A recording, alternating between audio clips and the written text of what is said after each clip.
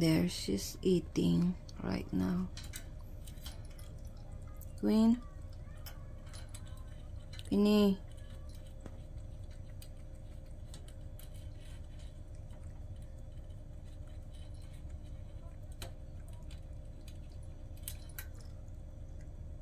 There you go.